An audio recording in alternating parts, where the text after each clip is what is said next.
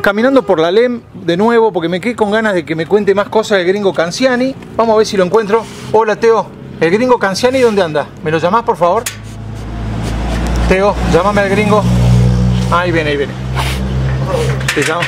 ¿Qué tal? ¿Qué hace gringo? ¿Qué parece? ¿Cómo anda? Arrímate un poquito, como hicimos el otro día. Bueno, Escúchame, quedaste que me ibas a contar algunas cosas. bueno. ¿Qué era que me ibas a contar? No, me quedé pre- preocup- pensando en los árboles, eso que me contaste. Bueno, te cuento. Justo donde están esos árboles. De la calle Alem. En la calle Allen. Entre en- la clínica Conde. en- en- entre la clínica, en donde ahora es los paseos los artesanos, justito al frente.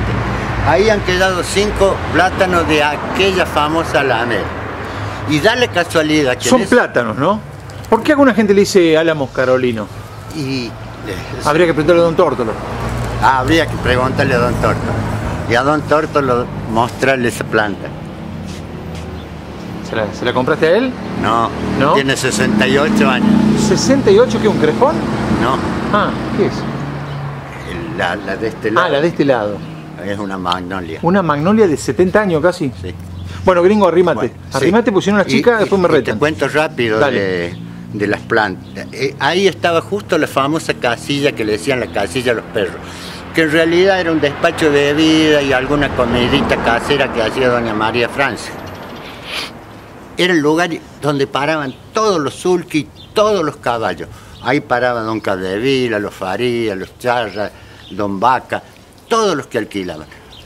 ¿Cómo hacían para los turnos no pelearse? No sé, porque iban los turistas, ¿viste? Ahí estaban todos. No sé cómo, cómo hacían. ¿De el qué año tema, estás el tema hablando? que ellos ahí, ¿De qué año estamos hablando? oh, yo que me acuerdo del año 49, 50 Claro. en adelante, ¿viste? De que yo me acuerdo. Y ahí también vivía Calegari, un poquito más allá, y había una linda vertiente. Mm, Estaba así Calegari la mantenía, él hacía sus propias escobas. Te voy a contar es rápido todo. Y doña María Francio ahí tenía, el, como te digo, un despacho de bebida y todas esas cosas. No tomaban los que iban a alquilar, cuando alquilaban. Después que ellos, sí, podían tomar una copita. No había como ahora el, el era el vino de Dama Juana y olvídate. Bueno, resulta que en todos esos árboles que hay, en ese tiempo serían así Sí. le clavaban herradura, los que alquilaban, las herraduras que ya se descartaban y tac, ahí la usaban para atar las cosas.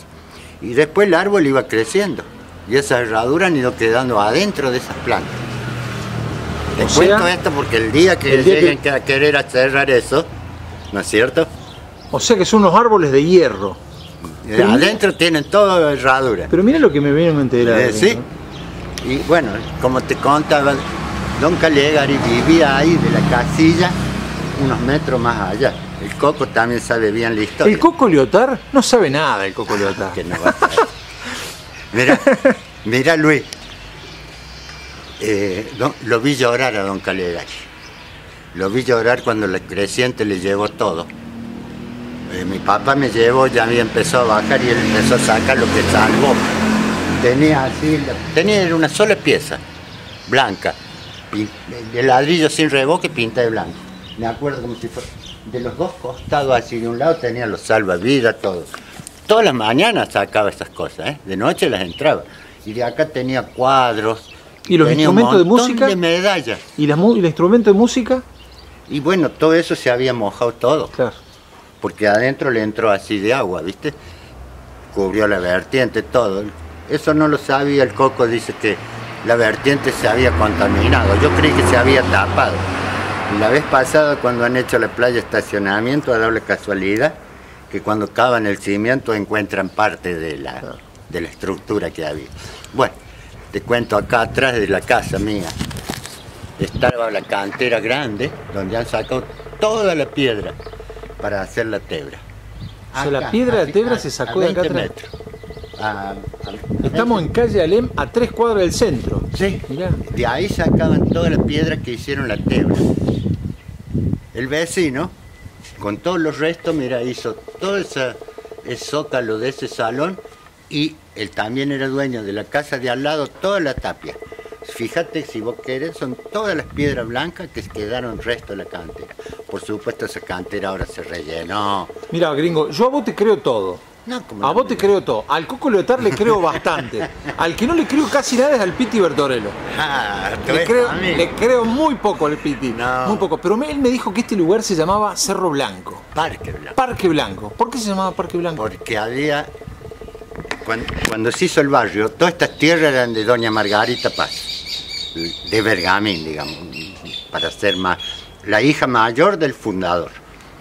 Entonces, este, ella cuando vende los lotes, las primeras cuatro casas las hace un técnico constructor botónico, creo que era Celso. Pasó, pasaron justo dos autos, así que no se escuchó.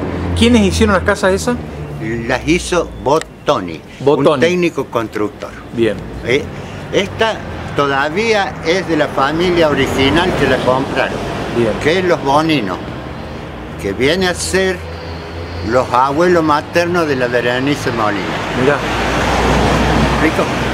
La, La Berenice Molina casada con un ex amigo mío, el Brunito Colaizo. Eh, Ex amigo cre- mío.